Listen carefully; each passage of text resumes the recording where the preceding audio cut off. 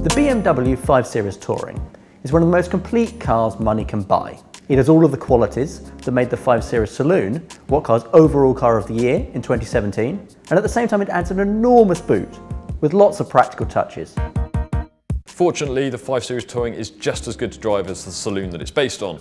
That means it rides and handles really well, particularly if you add optional electronic damper control.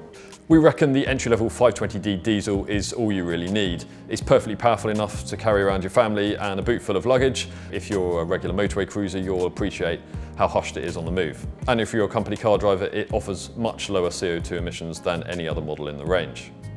Although this isn't the cheapest estate car you can buy, it is genuinely the best to drive, so if you can afford it, it's a fantastic buy. The 5 Series Touring adds an extra dose of practicality to the already impressive kit of the 5 Series Saloon. As well as a decent sized boot, it comes with leather seats, climate control and a long list of safety equipment. It also comes with BMW's iDrive infotainment system, and that's a cut above the systems you'll find in rival estates at this price point. So it's spacious, great to drive, and surprisingly affordable to run if you go for the 520D diesel model that we at What Car recommend. All of these reasons make the BMW 5 Series Touring the best prestige badged estate on sale today.